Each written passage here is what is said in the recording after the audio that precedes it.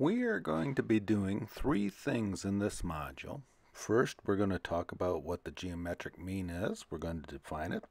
Second, we're going to indicate how to calculate the geometric mean using data from the adjusted close. So this differs from the uh, geomean function in Excel. And then finally, we're going to talk about annualizing returns. All of these items will be items that you will implement in homework 2. In defining the geometric mean, it's often useful to compare, compare it to the arithmetic mean. And the arithmetic mean is the one that you typically see when you see analysis and, and returns. So anytime you see a prospectus, it will be at the arithmetic mean. Compared to the geometric mean, the arithmetic mean will be higher. So the higher the arithmetic mean will be higher than the geometric mean and it will diverge more the more variable in this time series it is.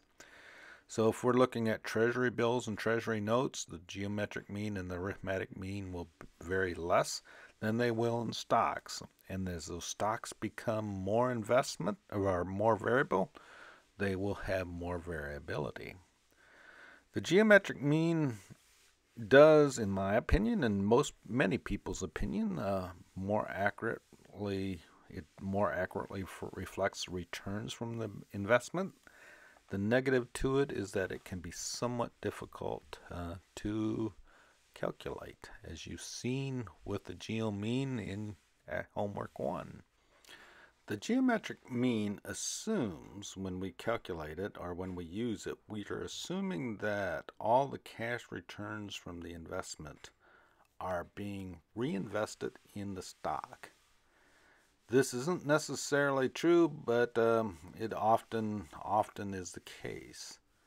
For example, you take a stock, it has a capital gain and a dividend return, and say that that cap that uh, dividend return is five percent the dividend is assumed to be invested in the stock, or that's the assumption when you make a calculation of the geometric mean.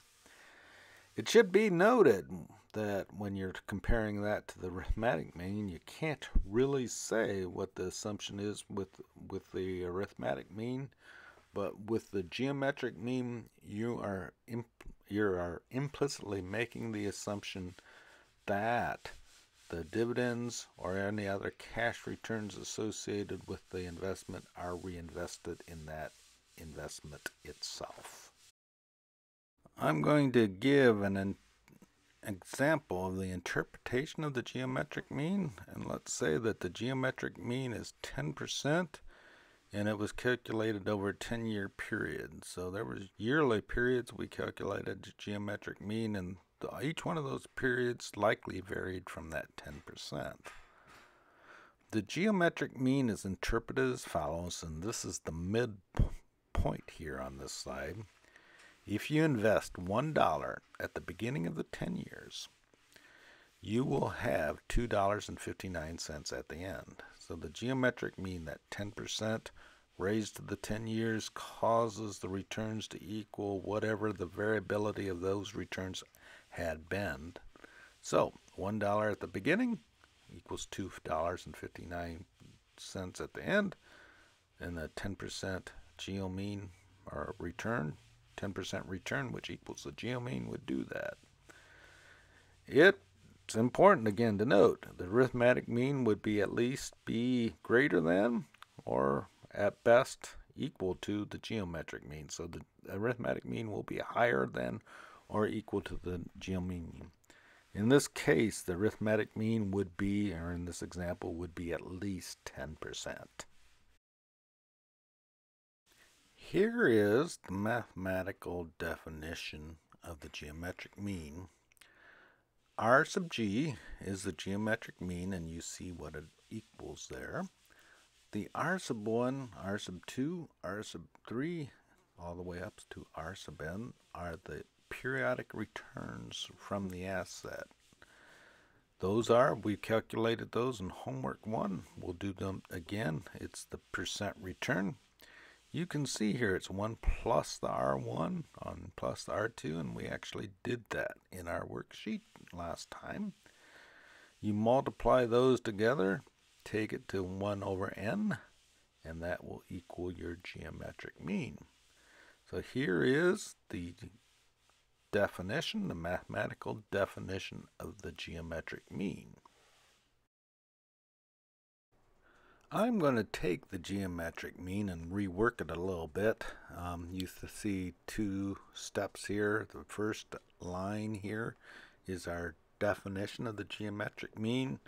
Do a couple more um, arithmetic changes to that expression to come up with the bottom one in red.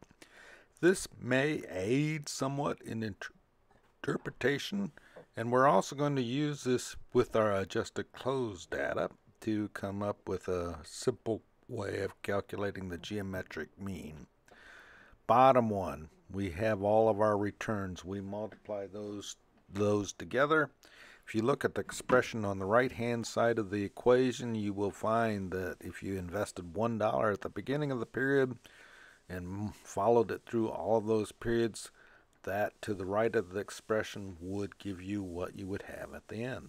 Again, we're always reinvesting all of the dividends in that investment.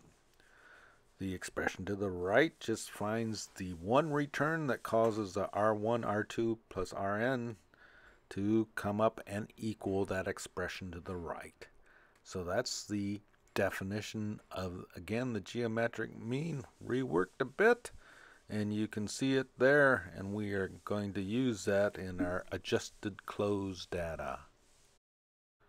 You have downloaded from Yahoo Finance, and this slide is just showing a download from Yahoo Finance. Data, stock data. This happens to be daily data, um, traded on the daily data base. Gives you the date, open, high, low, close, and the adjusted close, which is circled and pointed at there, and then the volume. We have been using the adjusted close in calculating returns. We're going to talk about that a little bit more here. But the adjusted close, we use that to calculate the uh, daily returns.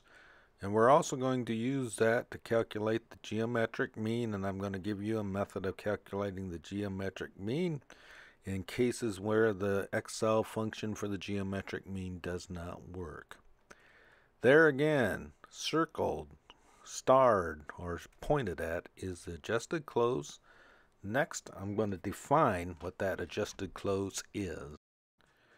Here is definition of the adjusted close. It comes from an article in Investopedia.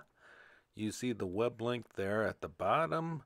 Um, you can go to that uh, that link or that uh, website and find this definition. The adjusted close is actually very close to the closing price, except that it has been adjusted to count for any actions done by the company itself that would in, impact returns. Um, in essence, what we're trying to do with the adjusted close is come up with an adjusted series that reflects the other actions of the company as it impacts returns. Two of the big ones are stock splits. So if we split the stock between 1 to 2, for example, we have now have two stock prices for 1. We are going to impact the adjusted close and that a 2 for 1 stock split would just cause the adjusted close on the day before to be half of what it was the day after. The other item that it accounts for are dividends. So stock splits, dividends, and there's a couple others. The end result of this calculation is, is that the, the adjusted closing prices can be calculate, used to calculate returns that take into consideration the stock splits. They also get, because they get the uh, dividends in there, they get the current returns as well as the capital gains. So those two items are, are accounted for in the adjusted closing price series. We are going to use those definition of adjusted close in calculating the geometric mean. And remember, adjusted close at the beginning of our time period. So at the very beginning of when we want to calculate returns, and adjusted close at the very end of our data series. And we've defined those two things here. Adjust, AV is our adjusted close at the beginning of the period, our adjusted value, adjusted value at the end. We can make this following um, definition that you see at the very bottom, adjusted value at the end, adjusted close at the end will equal the adjusted value at the beginning plus 1 plus our times, I'm sorry, 1 plus our geometric mean raised to the number of periods. And now all we have to do is solve for the geometric mean. But if you look at that time series, all we're saying here is that the adjusted close at the end will equal the adjusted close at the beginning of the, the, the series plus times with the relationship given by the geometric mean. So we're going to take that expression, the expression 1 here just comes from the previous page, we're going to rework it and come up with expression 2 and all of those uh, changes are arithmetic changes. You should be able to do those relatively easy. We're going to use equation 2 in calculating a geometric mean and I'm going to demonstrate that now in Excel. Now going to demonstrate how to do the adjusted close. We're going to do this from point A to point B. We're at our Yahoo Finance website and I'm going to download data for our company and do our adjusted close uh, calculation. I'm going to pick a new company. I'm going to do Monsanto, uh, which is an agricultural biotechnological company. Here we have our data and I'm going to go into historical data. So we've done this before. You've done this before. Um, I'm going to pick a period that uh, starts with the maximum. We're done here, so we're going to go back to October 18, 2000. I'm doing this on September after September 4th, 2017. We're going to do this for historical prices. You could also do this for dividends only or stock splits, so you can get a pretty good feel for when those things are. We could do this for a frequency of daily, which is what I'm going to do, but there's also a couple other options of weekly and monthly. Going to apply this to the data. So if we applied this, we now should have all that data in there. And I'm going to download it. So I've downloaded the Monsanto data. I'm going to, it's mm, here. I'm going to bring it up and here is my data. And let me get it uh, arranged here a bit. Here's my Monsanto data going back to October 18th, 2000. Open, high, low, close, adjusted close, and the adjusted close is what we're going to be using. And finally, the volume. I'm going to insert a couple lines up here. Again, this is our Monsanto data. All right, I'm going to calculate returns here. I'm going to come over here and calculate my daily returns just like I always have. Go over here. And my daily return is going to be my adjusted close on the next day minus the adjusted close this day minus 1. So that day we had a really good 11% return. Copy that all the way down to the bottom. I'm going to have to, as I always do, go to the bottom. The bot last one is always negative 1 because we're we have 0. That's not right, obviously. So I'll delete that. Got that done. So now I have my daily returns here. I'm going to pull in over here and just for our notes all right. Here is how we have been doing this calculation in Excel. And again, we're calculating our adjusted close here. We have all of our periodic returns here. And um, these are R1, R2, R up to Rn. This is in this column. we want to find our adjusted close. Now, we have done this a couple times using the geomean function in Excel. I'm going to show you what happens here when you use it. So here's what we're doing. Let me just delete that.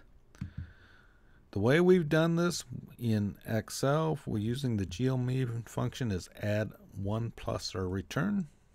Oops, it's now circular. I made a mistake here. I'm sorry. We'll do it again. Equals 1 plus return. Copy that down. And I'm going to do the geomean. And it's going to most likely blow up.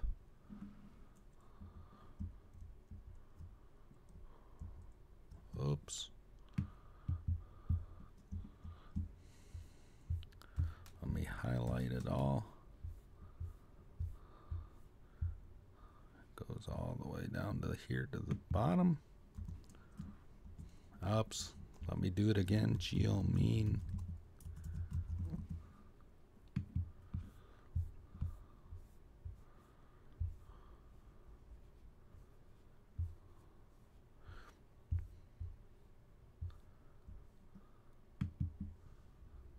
There it is.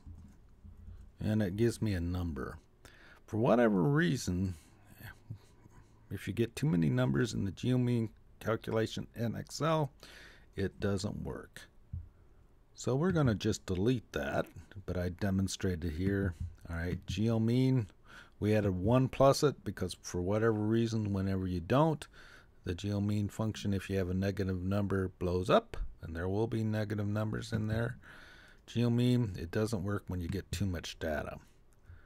We're going to do this with the equation that we saw before. Here it is. We're going to take the adjusted value at the end, adjusted value at the beginning, divide those two, take it one to the n minus 1. Let me make this smaller, and I'll do those calculations in this right here. First thing I'm going to do, adjusted value at the end divided by the adjusted value at the beginning. First step one, do that calculation and go down here to the bottom. There's my adjusted value at the end divided by my adjusted value at the beginning. Oops, that's fine. There is my Step 1, AVE divided by AVBE. Step 2, I am going to calculate N. So now I'm going to calculate N, and I'm going to count those.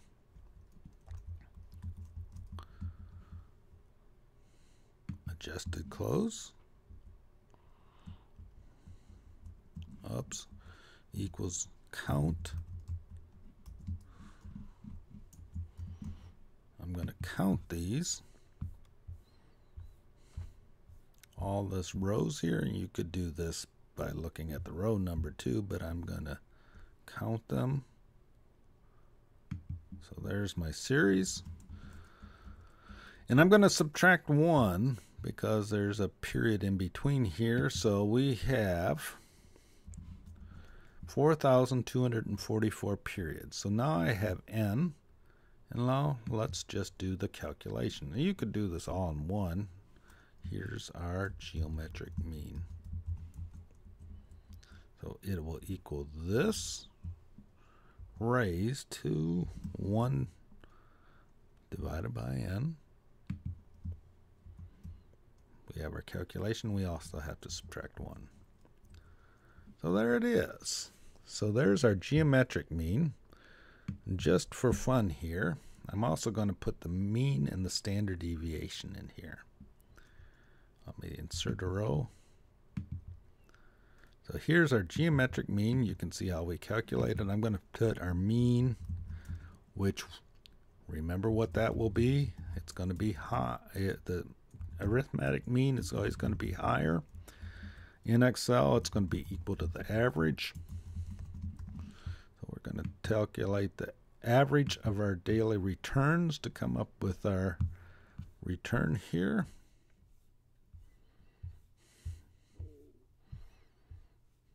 So I'm going to take the average of my returns. Again, that would be higher. And it is. And I'm going to do the standard deviation as well. So we have our measures of return and risk. Point it one more time.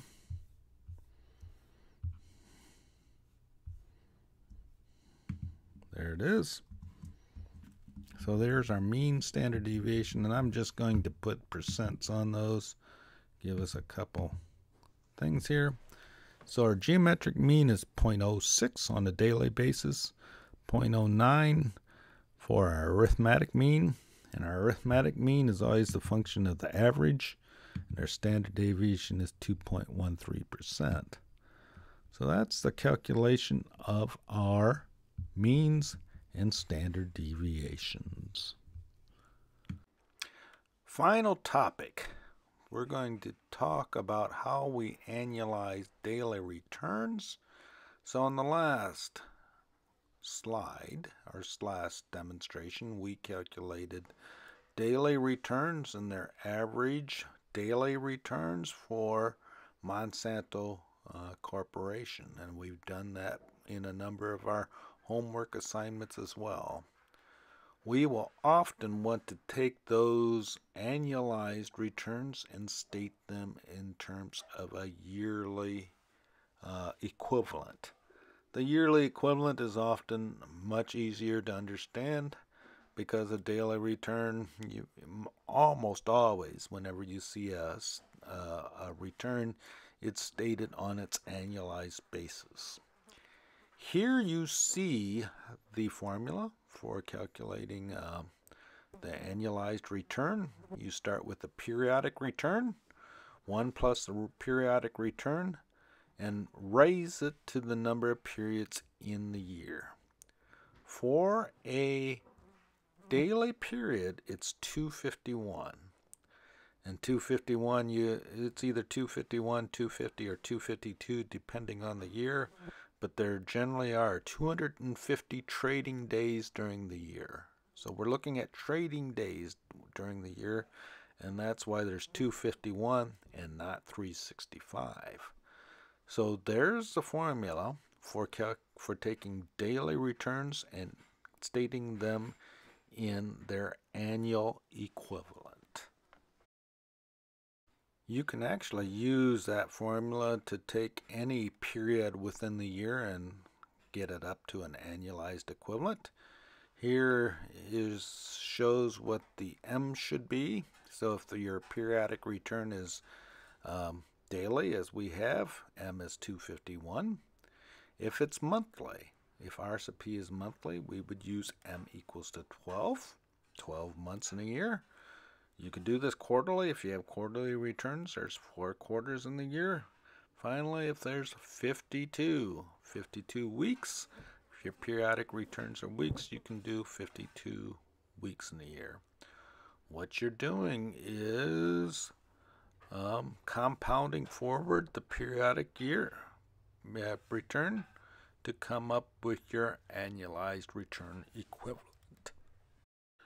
We can also state our standard deviations, which we calculated on a daily period, or for that matter, more generally monthly period or weekly period, we can state them as their yearly equivalent by using the formula here. We take the standard deviation of our daily return in this case, and we take the square root of m and move it up to our uh, annualized equivalent. I'm going to uh, now, with our Monsanto data, demonstrate the annualizing process and how we would do this in Excel. Here is our Monsanto data, and I'm going to insert here.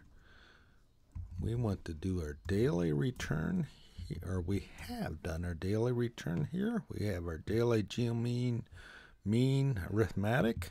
So this is our arithmetic mean.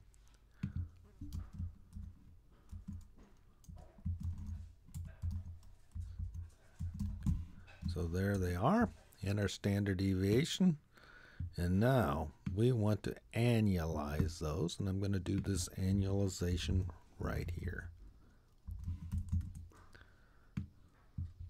Okay, so we're going to do those annualized returns. Here are our formulas from our previous page. Here's our return formula. Here's our standard deviation formula. So there you see the two. I'm just going to apply those. Here's our annualized geomean. So, or excuse me, I'm going to annualize our geomean here. Start with our periodic return. We're going to raise it to 251 minus 1. So it's 16 point, so our 0.06 return is actually 16.9%.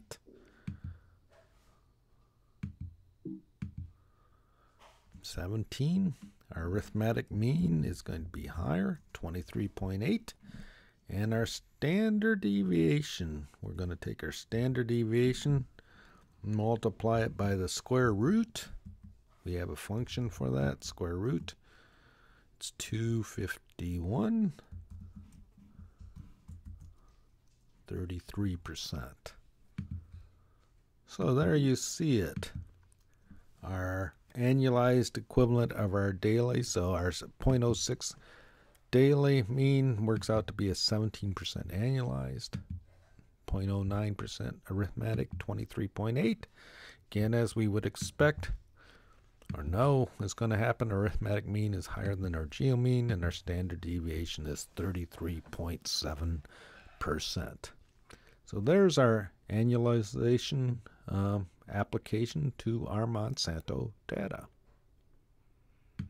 Summary what we did, we defined what the geometric mean is and demonstrated it. We indicated how to calculate it using our adjusted closing prices. You will do that in homeworks in the future, homework 2 in specific. And then we talked about how to annualize means and standard deviations. And we applied that to our period being a daily trading period, daily daily trading period, and took those means and calculated their annualized equivalents.